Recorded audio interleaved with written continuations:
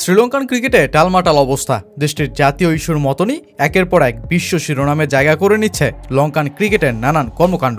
Asia cup জয় করে বিশ্বকাপে পা দেয়া শ্রীলঙ্কা দল মাঠে লড়াইয়ে দারুণ কিছু করলেও অস্ট্রেলিয়া ছাড়তে হয়েছে অনেকটা মুখ লুকিয়ে। কেননা দলটির ক্রিকেটার দানুষ্কা গুনাথিলাকা ধর্ষণ অভিযোগে অভিযুক্ত হয়ে জেল খাটেন অস্ট্রেলিয়ার কারাগারে। সেই দেশ কাটতে না কাটতেই আবারও আরেক বিতর্কিত ইস্যুতে নাম উঠে আসলো লঙ্কান দলের। পাকিস্তানের বিপক্ষে ম্যাচ পাতানোর অভিযোগ উঠেছে দলটির বিপক্ষে। আইসিসি দুর্নীতি বিরোধী সংস্থা আকসুর নজরদারিতে এই টেস্ট ম্যাচ।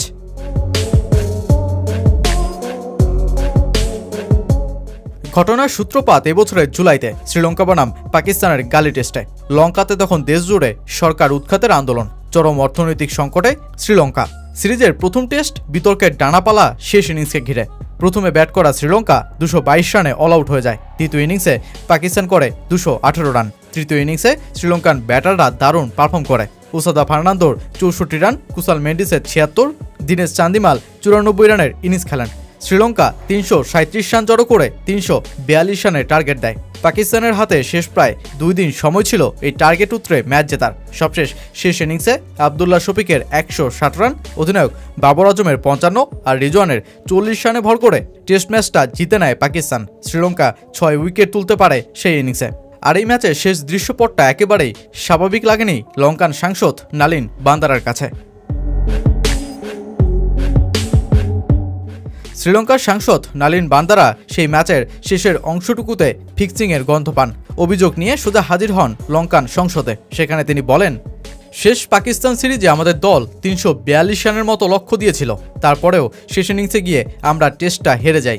বোর্ড একটা জুয়ার আঁকড়ায় পরিণত হয়েছে। পিচ রোলিংয়ের সঙ্গে যুক্ত ব্যক্তিসহ সবাই টাকা খেয়েছে। তার এই বক্তব্যের পরই ফের আলোচনার জন্ম দেয় সেই ম্যাচ। চড়াও হয়ে ওঠে ফিক্সিংয়ের গন্ধ। তবে কি সত্যি এমন কিছু হয়েছিল সেই ম্যাচে? নালিন বান্দারা অভিযোগ তুলে ধরলেও তার পক্ষে কোনো প্রমাণ দিতে পারেননি। ম্যাচে ফিক্সিংয়ের ঘটনা ঘটেছে, এমন কোনো প্রমাণ এখনও পাওয়া যায়নি। আইসিসি জানিয়েছে, পূর্ণ তদন্ত না শেষ হওয়ার পর এ বিষয় নিয়ে কোনো তথ্য জানাবে না ক্রিকেটের সর্বোচ্চ নিয়ন্ত্রক সংস্থা। তবে শ্রীলঙ্কান ক্রিকেট বোর্ড এই ম্যাচের স্বচ্ছতা প্রমাণের জন্য আইসিসির দুর্নীতি দমন কমিশন আকসুকে আমন্ত্রণ জানায়। বর্তমানে আকসুর তত্ত্বাবধানে চলছে সেই ম্যাচের তদন্ত। এমনটাও জানা যায়, নালিন বান্দারার এমন অভিযোগের পেছনে রয়েছে Sri Lankan cricket board president Shammi silver সাথে তার দ্বন্দ্ব। এসএলসি তেইশ নভেম্বর এক বিবৃতি শেয়ার করে জানায়, বান্দারার এমন বক্তব্য শ্রীলঙ্কান ক্রিকেটের সুনাম ক্ষুণ্ণ করছে।